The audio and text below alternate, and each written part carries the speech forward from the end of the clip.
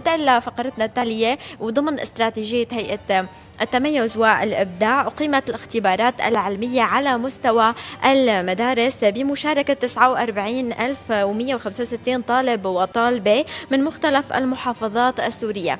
كيف كانت كيف كانت الأجواء؟ زميلتنا أريج فردي رصدت لنا إياها خلينا نتابع مع بعض.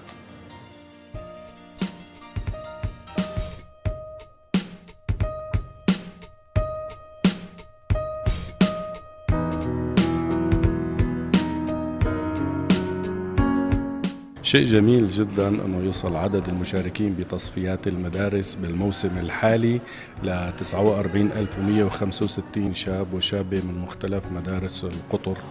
آه هذا الرقم غير مسبوق. آه كنا السنة الماضية عم نحكي بأقل من هيك بكتير. هذا الكلام بيعني انتشار ثقافة الأولمبياد العلمي بسوريا. آه زيادة المعرفة زيادة الجيل هذا وأهالي الجيل هذا بأهمية الأولمبياد العلمي السوري. وهي الأهمية شيء كانت واضح نتيجة آه، النجاحات اللي حققها محليا والإنجازات اللي حققها عالميا. لما نصل ب 2016 ل 16 إنجاز عالمي وقاري لسوريا فهذا التأكيد على هالنجاحات. وهذا كله ضمن استراتيجية هيئة التميز والإبداع.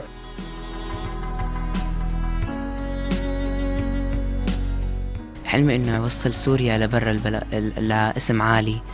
وادرس علوم وصير يعني إنه درس العلوم للناس لأن العلوم هي سهلة وتفسر كل العالم. نحن بمشاركتنا هون عم عم نرفع راس الوطن وعم نعليه بين الأمم الأخرى.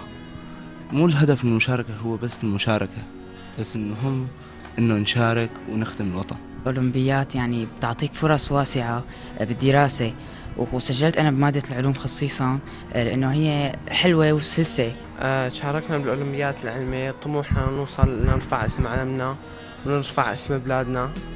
آه، شاركنا فيها لأنه بدنا نحقق شيء يعني حلمنا بالتفوق بمادة الكيمياء وإنه حبي وحبي للمطالعة بقصة إنه الكيمياء والمعادلات والاحتراق وهالقصص. حابب أوصل للقمة يعني حابب فوز وأرفع اسم مدرستي. وحابب إني أكون الأولي.